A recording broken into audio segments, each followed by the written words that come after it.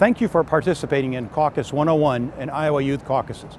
My name is Mark Everson and I'm a Republican candidate for president. I bring an extensive background in business and also in the executive branch of government.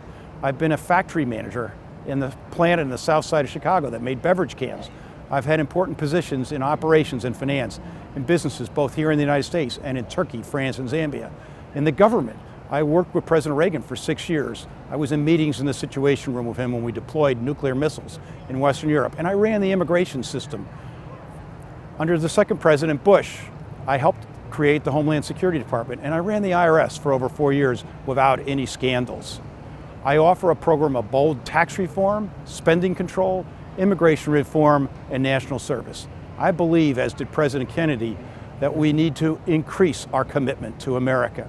He said, Ask not what your country can do for you, ask what you can do for your country. I will execute the law as written, not as I might wish it to be, and I will only serve one term, putting national interests before political and re election interests. Thank you.